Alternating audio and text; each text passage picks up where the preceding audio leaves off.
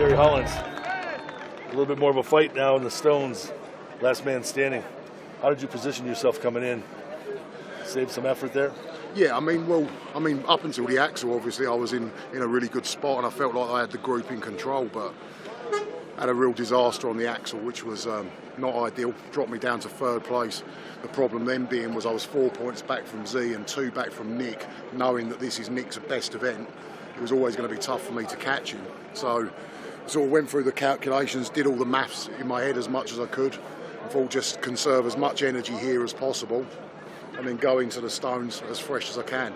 I've dropped down to fourth place, but because we've had Olu pull out, I knew that I'd be against Pyman on the first first pair anyway. The only difference is I've got to lift the stone first instead of him now. So it's um, it was a very tactical move anyway, just to try and save as much energy for the stones as possible. Well, you've been here how many times now? You really have a lot of experience. So, Yeah, I mean, hopefully it works out well. It's just um, I put myself in terms of like after the disaster yesterday, I put myself in as good a position as possible. I'm as fresh as I could possibly be. So fingers crossed it goes well.